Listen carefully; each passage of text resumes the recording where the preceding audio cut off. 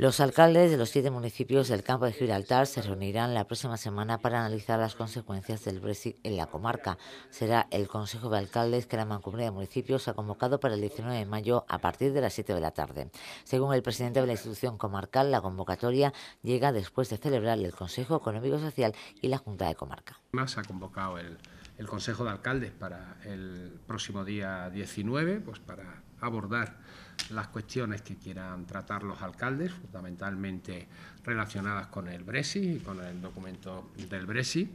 Deciros que, el hecho de haber escalonado las convocatorias es que yo creo que hubiera sido una falta de, respeto a las tres instituciones, precisamente eh, de gobierno, ¿no? junto con el gobierno comarcal, a las tres instituciones de gobierno de, de la mancomunidad, haberlas convocado el mismo día una detrás de otra.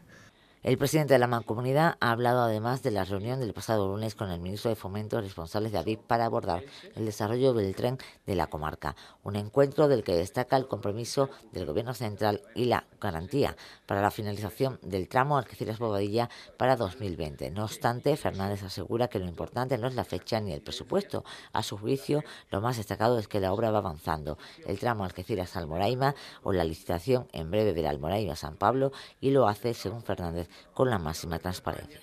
Y, eh, sin embargo, pues deberían ser dos